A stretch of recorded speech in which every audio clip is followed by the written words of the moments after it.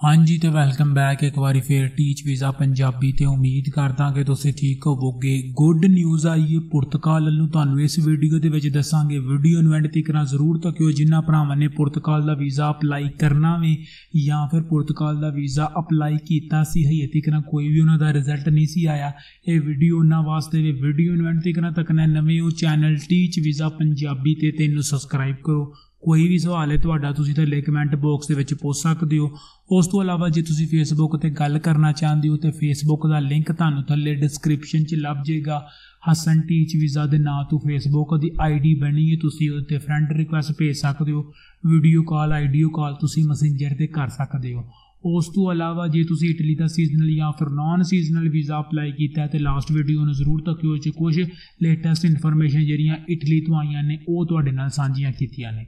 ਹਾਂਜੀ, ਤੇ ਗੱਲ ਕਰਨੇ ਆ ਪੁਰਤਗਾਲ ਵੱਲੋਂ। ਤੁਹਾਨੂੰ ਪਤਾ ਹੈ ਕਿ ਇੱਕ ਮੈਂ ਵੀਡੀਓ ਬਣਾਈ ਸੀ ਤਕਰੀਬਨ 2 ਹਫ਼ਤੇ ਪਹਿਲਾਂ, ਜਿਹਦੇ 'ਚ ਮੈਂ ਦੱਸਿਆ ਸੀ ਕਿ ਪੁਰਤਗਾਲ ਦੀ ਜਿਹੜੀ ਐਮਬੈਸੀ ਹੈ, ਉਹਨੇ ਅਨਾਉਂਸਮੈਂਟ ਕੀਤੀ ਹੈ ਕਿ ਦੁਨੀਆ ਦੇ ਹਰ ਇੱਕ ਸਿਟੀਜ਼ਨ ਵਾਸਤੇ, ਦੁਨੀਆ ਦੀ ਹਰ ਕੰਟਰੀ ਦੇ ਵਿੱਚ ਪੁਰਤਗਾਲ ਦਾ ਵੀਜ਼ਾ ਜਿਹੜਾ ਉਹ 1 ਮਈ ਤੋਂ ਬਾਅਦ ਓਪਨ ਕਰ ਦਿੱਤਾ ਜਾਏਗਾ। ਬਟ 1 ਮਈ ਲੰਘ ਗਈ ਹੈ, ਹਜੇ ਤੱਕ ਪੁਰਤਗਾਲ ਦੀ ਐਮਬੈਸੀ ਵੱਲੋਂ ਕੋਈ ਵੀ ਐਸੀ ਅਨਾਉਂਸਮੈਂਟ ਨਹੀਂ ਕੀਤੀ ਗਈ, ਜਿਹਦੇ 'ਚ ਪੁਰਤਗਾਲ ਦੀ ਐਮਬੈਸੀ ਵੱਲੋਂ ਇਹ ਕਿਹਾ ਗਿਆ ਹੋਵੇ ਕਿ ਵੀਜ਼ਾ ਅਪਲਾਈ ਕਰ ਸਕਦੇ ਹੋ।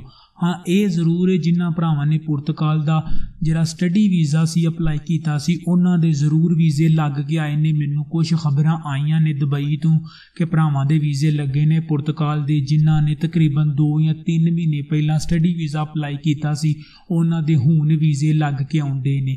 ਤੇ ਗੁੱਡ ਨਿਊਜ਼ ਵੀ ਹੋ ਸਕਦੀ ਹੈ ਵਿਜ਼ਿਟ ਵੀਜ਼ੇ ਵਾਲੇ ਵਾਸਤੇ ਜਾਂ ਫਿਰ ਵਰਕ ਵੀਜ਼ੇ ਵਾਲਿਆਂ ਵਾਸਤੇ, ਜਿਨ੍ਹਾਂ ਵਰਕ ਵੀਜ਼ਾ ਅਪਲਾਈ ਕਰਨਾ ਹੈ ਜਾਂ ਫਿਰ ਪਹਿਲਾਂ ਕੀਤਾ ਸੀ, ਉਹਨਾਂ ਦਾ ਵੀ ਰਿਜ਼ਲਟ ਇੱਕ ਦੋ ਦਿਨਾਂ ਦੇ ਵਿੱਚ ਵਿੱਚ ਜ਼ਰੂਰ ਆਏਗਾ ਕਿਉਂਕਿ ਪੁਰਤਗਾਲ ਦੀ ਐਮਬੈਸੀ ਤਕਰੀਬਨ ਜ਼ਿਆਦਾਤਰ ਜਿਹੜੀਆਂ ਡਿਵੈਲਪਿੰਗ ਕੰਟਰੀ ਨੇ, ਦੁਬਈ ਦੇ ਵਿੱਚ ਵੀ ਓਪਨ ਹੋ ਗਈ ਹੈ, ਰਸ਼ੀਆ ਦੇ ਵਿੱਚ ਵੀ ਓਪਨ ਹੋ ਗਈ ਹੈ।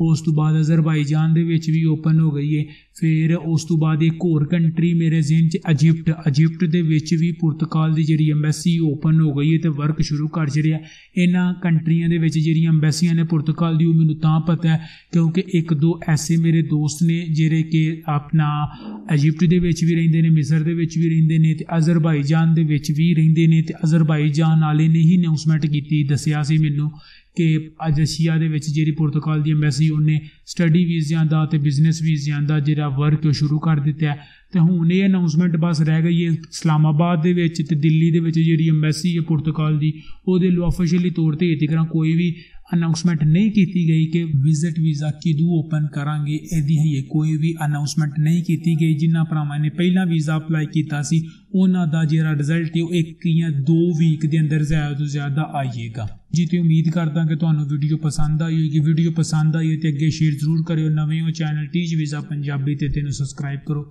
ਮਿਲਦੇ ਹਾਂ ਤੁਹਾਨੂੰ ਅਗਲੀ ਵੀਡੀਓ ਤੇ। ਉਦੋਂ ਤੱਕ ਰੱਬ ਰਾਖਾ।